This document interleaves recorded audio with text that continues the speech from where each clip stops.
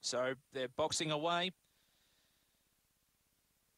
Second line come forward now. So we're ready to go. Mount Gambier race five. Kicks off the quaddy.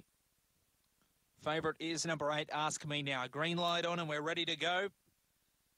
Field of seven, set, racing. Ask me now, jump fairly. Speed from fly by them. And the well back second favourite gets to the lead. Ask me now in hot pursuit with also Ship of Fools the inside. Then came Winsome Fernando, followed by uh, Winlock Dino. Then Posterior Chain. Jay LaBelle is last, but in front fly by them. Four lengths clear. Two Ship of Fools. And then Ask me now into the strain and fly by them is clear. And fly by them one by four lengths second. Ship of Fools. Ask me now runs third. Uh, they're followed further back in the field by Winsome Fernando. Then came posterior chain Winlock Dino and Jayla Bale amongst the tail enders in a run of around 23 and 10.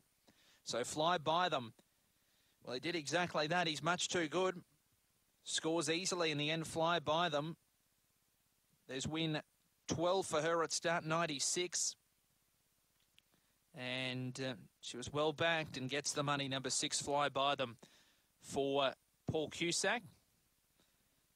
Defeating home two, Ship of Fools who run second, Wade Green. Eight, Ask Me Now, third, Scott Felters, fourth to five, Winsome Fernando.